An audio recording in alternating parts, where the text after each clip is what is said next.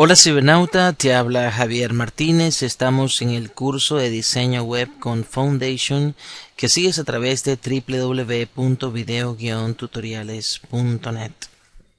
Bien cibernauta, entonces en el video pasado, en el video número 3, estábamos viendo cómo trabajaba el grid, la rejilla de Foundation 3. En este caso estábamos viendo la parte de la distribución, cómo trabaja él con 12 columnas. Pusimos nuestro encabezado, la parte del contenido principal y la barra lateral en 8 y 4. Luego pusimos una barrita de 5 columnas y otra de 7 columnas. Luego colocamos 4 de 3 columnas cada una para cerrar con el pie de página con 12 columnas. De esta forma cada una es un row, es que puedes trabajar con uh, el grid por defecto que te permite usar Foundation.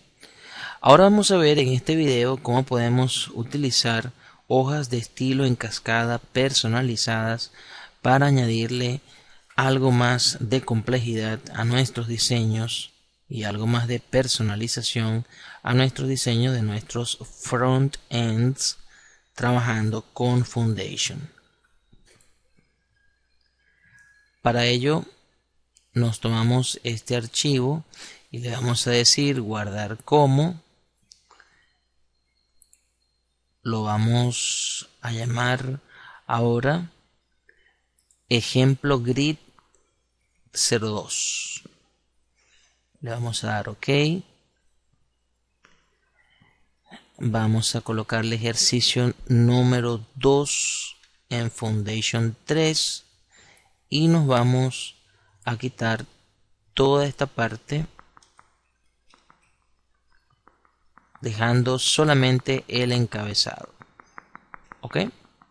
Vamos entonces a eliminar hasta la parte del pie de página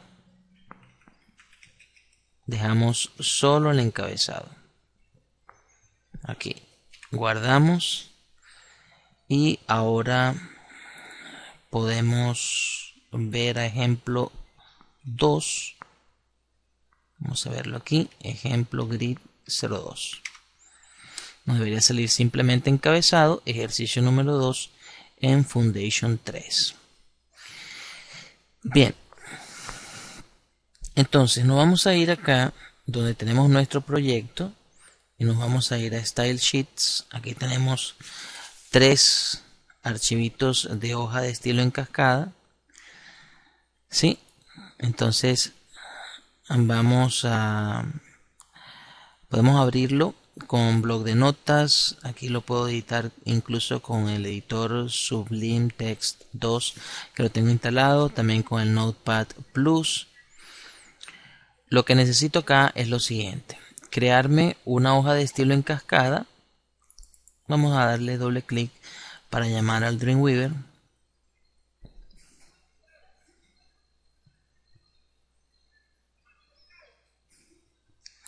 Donde vemos la hoja de estilo en cascada que trae por defecto. La vemos que no tiene un formato específico. Nosotros, como bien sabe, Cibernauta, tenemos la costumbre de trabajar nuestras hojas de estilo en cascada ordenadas. Le vamos a dar crear un archivo CSS y vamos entonces a trabajar con lo que necesitamos colocar aquí.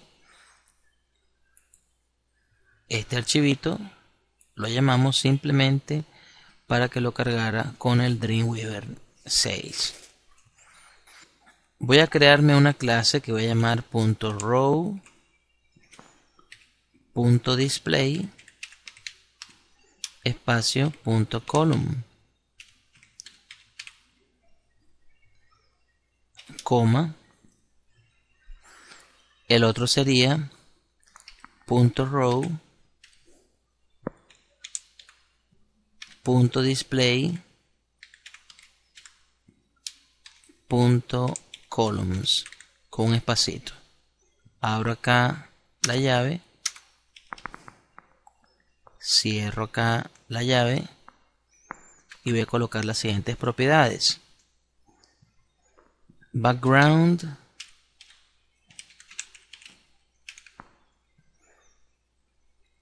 Numeral E7 E7 E7 es decir un gris. Ahora el border sería de un píxel solid y el color sería numeral 000000 punto y coma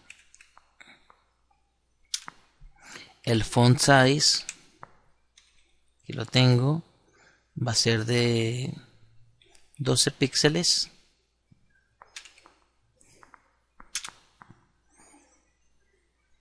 Y voy a tener un padding de 6 píxeles. Acá 6 píxeles espacio 0 recuérdate que aquí cibernauta eh, los uh, píxeles en el padding tanto como en el padding como en el margin cuando colocamos dos como en este caso tienen que ver con arriba, abajo, derecha, izquierda, ¿ok? Arriba, abajo el primero, derecha, izquierda el segundo. Vamos entonces a crearnos otra clase. Vamos a ir guardando esto. Archivo, guardar como. Lo vamos a guardar.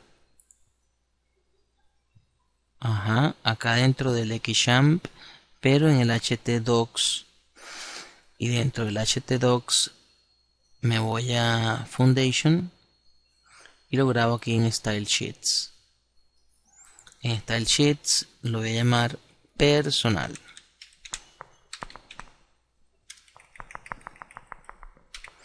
personal.css perfecto.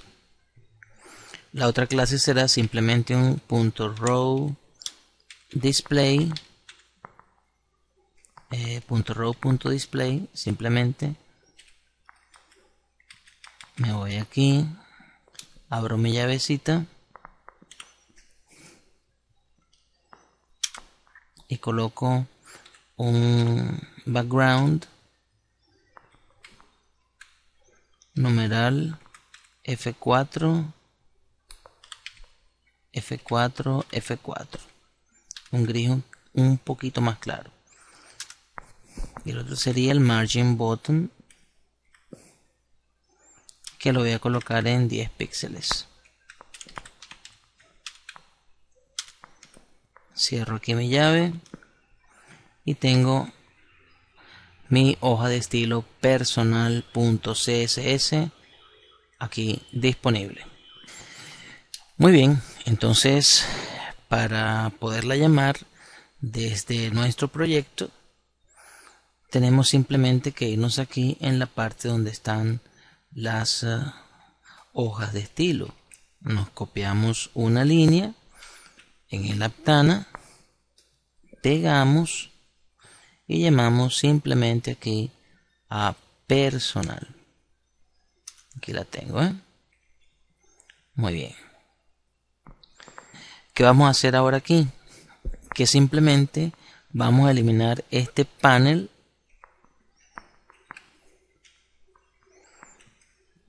vamos a darle control S para que veas cómo va quedando y cómo va a quedar después nuestra idea es que quede así como lo vemos aquí actualmente.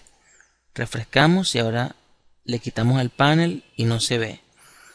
Pero si colocamos aquí en vez de row le colocamos row display